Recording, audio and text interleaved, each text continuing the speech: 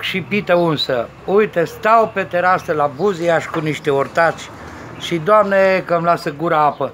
Am vorbit despre cum gătim mielul, iar eu am spus așa și repet în fața voastră. Nu există ceva mai frumos decât în duminica uh, Paștelui să te trezești pe la 90 după ce ai stat noaptea la înviere, s-a prins grătarul în curte, să te așezi lângă el, cu o belcuță de răchie bună, și cu o bere scoasă din frigider, să pui pe grădar mormane întregi de carne, de miel, de porc, de pui, mititei, cârnăciori, toate bunătățile pământului. Să mai pui și niște cartofi întregi înveliți în folie de aluminiu să se coacă pendelete la capătul grătarului. Și trai și viață și, Doamne, ține pe toată lumea. Chiar am vorbit cu precenul meu, m-a întrebat, dar nu se face uscată carnea de miel pe grătar, nu iese rea. Vai de mine, zic, uite ce să faci.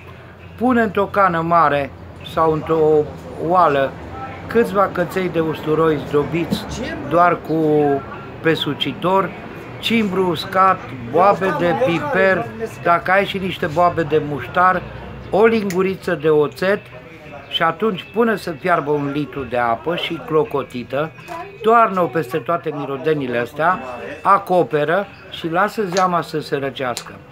Filtrează-o foarte bine prin strecurătoarea de ceai sau chiar prin tifon și pune într-o sticlă pulverizatoare.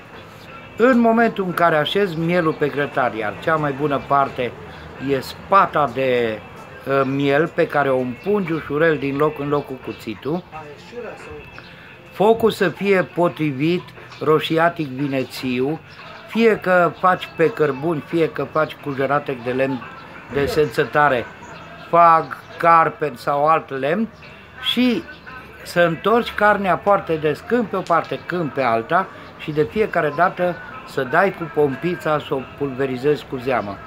Asta uh, face să compenseze pierderea de lichid din carne, să nu fie uscată iască. Al doilea, dă și un luciu deosebit cărnii, un aspect fantastic, precum și aroma deosebită de la mirodeni. Și uite așa, stai jumătate de zi și frici cărnuri, faci mormane întregi, cartofi lângă, mai faci o salată de castraveți cu roșii, mai o salată verde, mai o salată de varză, ce trece prin cap?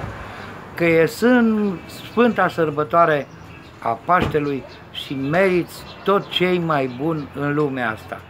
Hai noroc și pită unsă!